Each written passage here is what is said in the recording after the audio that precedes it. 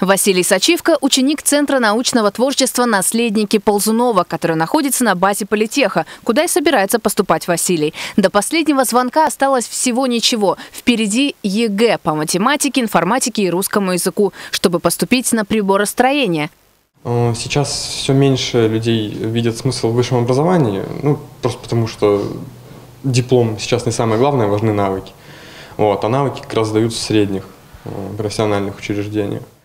В прошлом году в политех поступило почти две с половиной тысячи студентов. В университете говорят, каждая приемная кампания не похожа на другую. В этом году в ВУЗе будет почти на 150 бюджетных мест больше, чем в прошлые годы. Бесплатно сможет поступить почти 1900 студентов, если считать вместе с филиалами политеха. А вот цены за обучение поднимутся в среднем на 10 тысяч. Есть и еще один важный пункт приемной кампании этого года.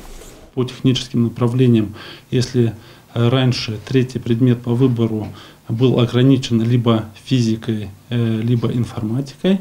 А в настоящий момент э, планируется э, добавить помимо этих предметов еще химию и иностранный язык. А если говорить об Институте биотехнологии пищевой и химической инженерии, то там еще, помимо прочего, доступна возможность сдачи биологии. У вас в классе многие собираются сдавать физику?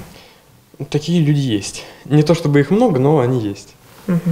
Но это прям какие-то единицы. Да, потому что предмет сложный сам по себе, и на ЕГЭ очень большой фактор случайности приемной кампании уже вовсю готовится и в педагогическом университете. Количество бюджетных мест здесь тоже увеличат, и тоже на 150 человек. В учреждении подготовили для абитуриентов много новых специальностей. Традиционно ждут высокий спрос на лингвистику и спортфак. Кстати, у будущих студентов по-прежнему есть возможность подавать документы через почту и портал госуслуги. Чаще такой возможностью пользуются абитуриенты из других регионов наши люди в основном стараются приехать. Ну, вот почему-то такой менталитет у нас, стереотип.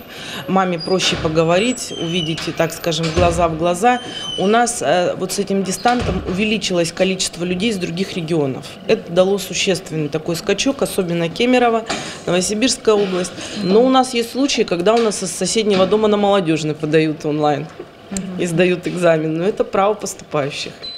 У школьников, которым вот-вот придется сделать главный выбор в своей жизни, остается все меньше времени на подготовку. Ведь уже совсем скоро вузы Алтайского края начнут нешуточную борьбу за мозги лучших абитуриентов региона.